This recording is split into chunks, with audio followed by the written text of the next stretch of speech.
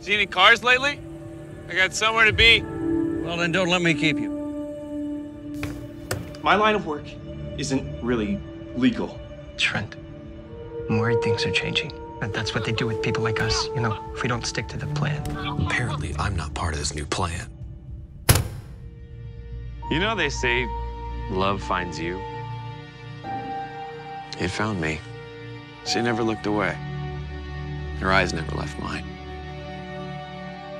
So what's going to happen? Kill me?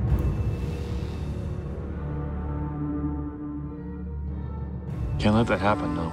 Rent a car, ditch ours, they'll be looking for it. Where's she waiting for you? Denver.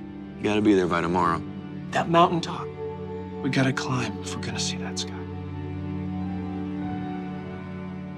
So what's next? Some kid running with their stuff. Where? On the Flint Hills, they think he's headed for Denver. You're scaring me. What is it? We're not safe. You really do need to be more prepared out here. What's got you in such a hurry anyway? You don't know me. You know where you're heading out there? Flint Hills, they're like the Bermuda Triangle of the Midwest. Real easy for somebody to lose their way. You got a lot to learn about life and people. Yeah, more like you forgot. These people, do they know who I am?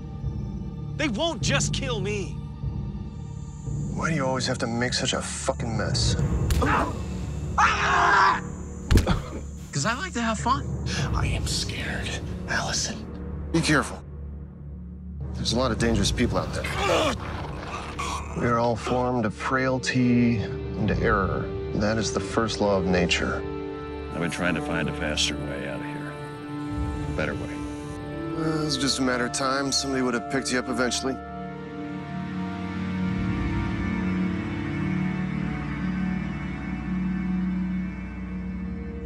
You know they don't like us to be late. No, they don't.